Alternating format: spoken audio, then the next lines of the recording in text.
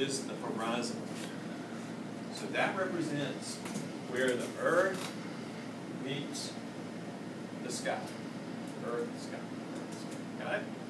Now, for you, we can figure this out simply by holding a piece of paper in front of our eyes like this. When that piece of paper or folder would work probably even better. I your folder? Your horizon line is where you see just a line. When you look at this folder, you just see a line.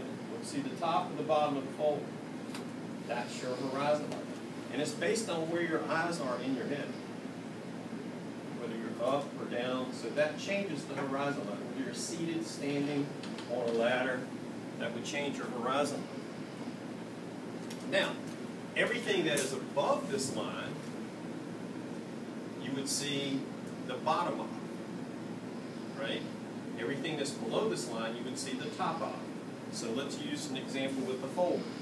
If I take the folder and I hold it out here like this, and it's just a line, but I do this, I see the top, right? If I do this, I see the bottom. Okay? So that's how we define horizon. And we agree on horizon. We agree that there are points beyond which you can't see anymore. So we're going to put those out here as well. So I'm going to put one point here and one point here. We'll make an X. That's where stuff disappears. Now, this particular system that we're doing is called two-point perspective. Because we have two vanishing points. So what I'm going to do is, um, I'm going to draw something else up here that represents cone of vision. So your cone of vision works like this. And the cone of vision is where you can see things clearly.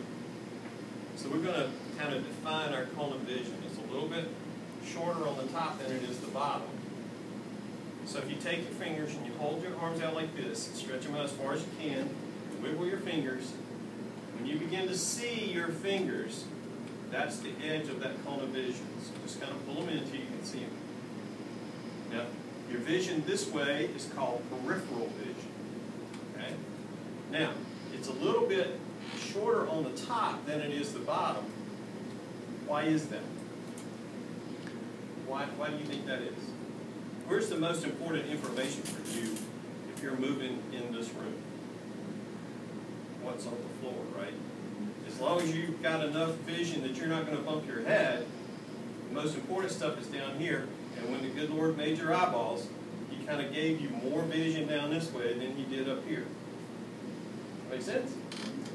And that's kind of how this is, why this is drawn the way it is. So everything that's within this cone of vision, you can see clearly.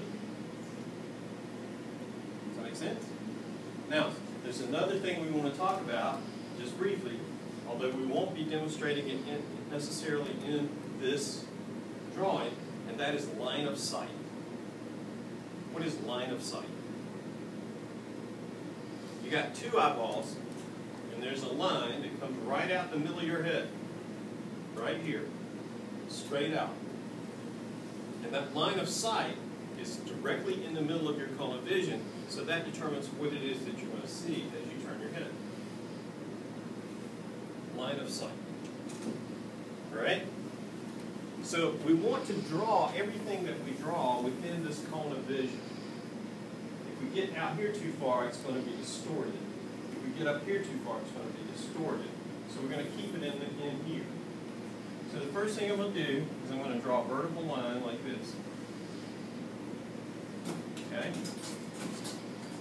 So that's a vertical line. Now we're going to take that line, we're going to say that line represents the edge of a box. The edge of a box. So that's this edge. That make sense? Okay.